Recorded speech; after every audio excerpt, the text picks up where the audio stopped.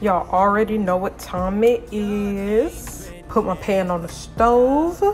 Then we're gonna change this to high and just let that boil real quick. But let me go ahead and give y'all a review of what noodles I'm doing. Okay, for my um third noodle challenge. Okay, so this is Neoguri spicy seafood flavor. I don't know if a lot of y'all gonna like this flavor um, because some people don't like they seafood noodles or noodles tasting like seafood, but it does give like a oyster seafood fishy taste, but it's pretty good. These are probably my second favorite, but yeah, they're pretty good though. So let's go ahead and cook these up.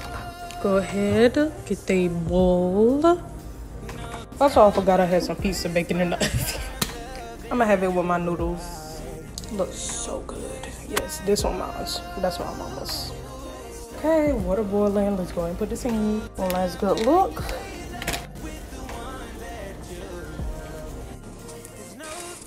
Okay, with two packets.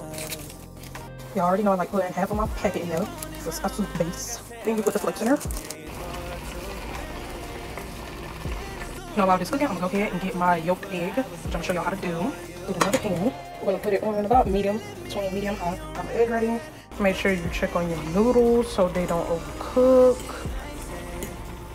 Now, I'm gonna try to do this the best way I can while recording. You're just supposed to crack your egg and then leave it just like that so it can turn white all around there.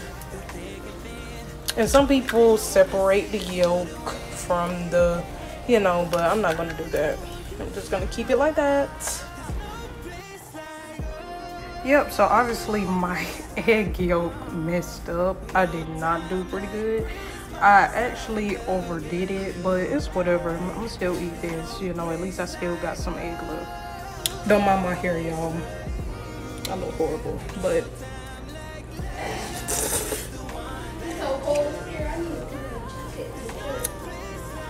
y'all get these noodles at Walmart. No.